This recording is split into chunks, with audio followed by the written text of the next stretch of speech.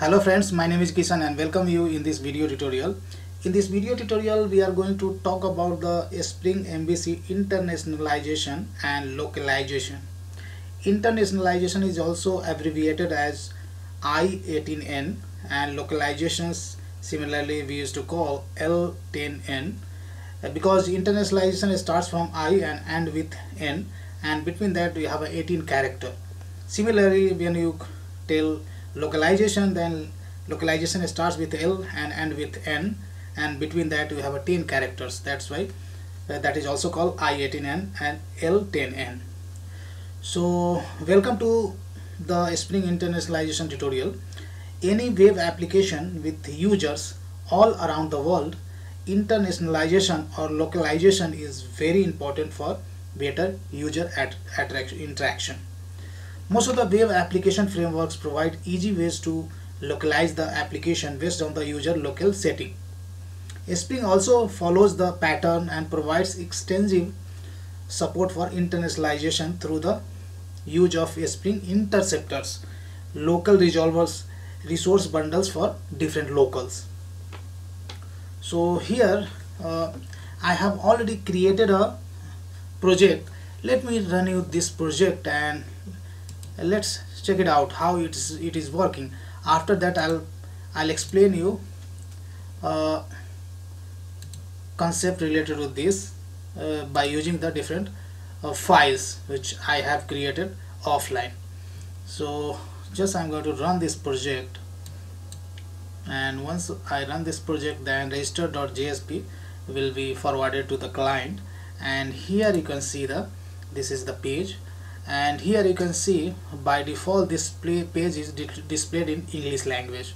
And here I have specified a to link. So when user wants to see this page in French language then user has to click on the French. And entire page is converted into the French. And here user can fill the data like name I'm gonna enter Kishan gender as male technology I'm going to select a Spring and Hibernate. Uh, city I'm going to select other. And here telephone number I'm going to provide some fake toilet telephone number. And here I'm going to enter today's date. So today's is uh, 27 June 2017 so month is 6 and day is 27 and sorry and when the user uh, clicks on user clicks on register button then this page is getting forwarded. And that is also displaying in the French language right? So here now you show the functionality how it's working. Now let's go through the each and every file and let me explain how basically I have implemented uh, this internationalization related project. So for simplicity uh, I have taken uh, I have implemented internationalization application uh, to supports only two local. First is the English that is by default and second is the French right? If no user local is specified we will use English as default local. Let's create uh, so here I have created uh, two uh, resource bundle. This is called resource bundle.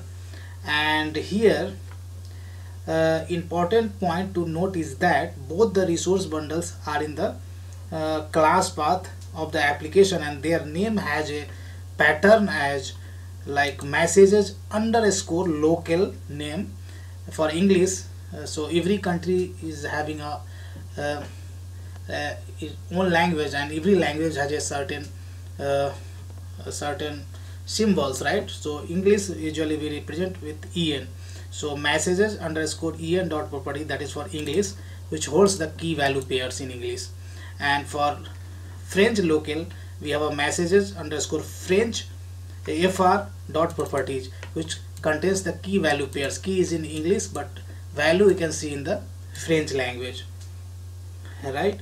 So here i have used unicode especially for the French local uh, I have used Unicode, Unicode for special characters in the French local resource bundle so that it gets interpreted properly in the response HTML sent to the client request right? So here if you look into the JSPs so I have a two JSPs right? And the here here the only part worth mentioning is the use of the message colon uh, spring colon messages. So if you look at, here here I have used a spring colon messages everywhere right? So basically it is used to retrieve the message uh, with the given code.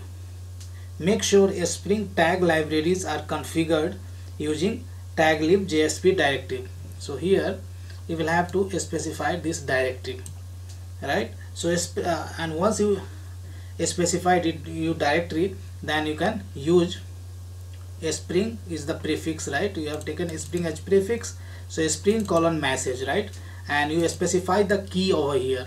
So corresponding value will be retrieved from the bundle right? Resource bundle. So a spring basically takes care of the loading the appropriate resource bundle messages and that and and make it available for the JSP pages to use so here basically all key value pairs for different locales I have specified in the different properties file. And JSP will have to specify the tag lib directory and you need to use uh, basically message tag to retrieve and you need to specify the key corresponding value will be retrieved from the client. Now uh, retrieve from the uh, resource bundle. Now here you can see on register.jsp which is initially provided to the client then I have a specified tool link over here. So first link for the English language and there I am passing lang uh, lang lang this lang attribute just I am uh, retrieving in the backend so that is uh, that is I have configured over here as a, a interceptor and interceptor is, has a local change interceptor has a par parameter is called param name and whose value is lang so this lang uh, value value for the this lang will be substituted by en right for english. When user clicks on the english then lang is en. When user clicks on the french then lang value is fr right? So basically this way just we are telling the spring I want this page to be converted into the either in English or French so by default this will be displayed in the English. When user clicks on the French then this parameter is going as a query parameter in the backend and that page gets displayed in the French language. So here uh, we'll talk about the Spring Bean configuration file right? Be a Spring Bean configuration file is the place where all the magic happens. This is the beauty of the Spring framework as it helps us to focus more on the business logic rather than coding for the trivial task. Let's see how our Spring Bean configuration file looks like and we will look at the each of the bean one by one. So if I go to the dispatcher servlet.xml then here uh, all beans I have a space uh, defined. So to work internationalization you will have to uh, write this tag mvc colon annotation driven now next i would like to talk about the message source. So message source bean is configured to enable i18n for our application. Base name property is used to provide the location of the resource bundle. Right? So here basically default encoding uh, is used to define the encoding used for the messages. So default encoding I have specified the UTF-8 now next thing I would like to talk local resolver. So local resolver bean is the type of uh, cookie local resolver and that is used to set the cookie in the client request so that the further request can be easily recognize the user local. For example we can ask user to select the local when when he launches the web application for the first time and with the use of cookie we can easily the user uh, local and uh, we can easily identify the user local and automatically send local specific response. We can also specify the default local cookie name maximum age of the cookie before it gets expired and detected by the client browser. Here I would like to mention if you if your application maintains user sessions uh, then you can also use uh, something is called session local resolver as a local resolver to use a local attribute in the user session. The configuration is very similar to cookie local resolver.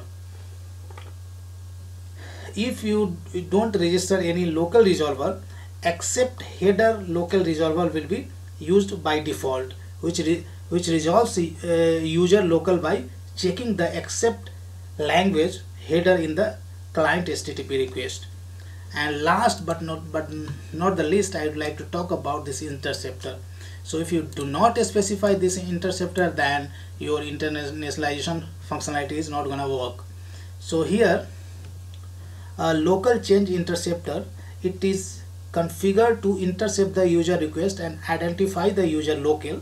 The parameter name is configurable and we are using request parameter name as param name and value as lang which is coming from the uh, register page right? So lang value we have specified en for english and fr for french right? Without this interceptor uh, without without this interceptor we won't be able to change the user local and send the response back on the new local setting of the user. It needs to be part of the interceptors elements otherwise spring won't configure it as a as an interceptor. So i hope you understood this example. So this code i am going to upload on the github and github location i will specify in the video description. If you have any query or any questions then please do post the below to the video. I will try my best to answer those queries as soon as possible so thanks thanks for watching this video and see you next video tutorial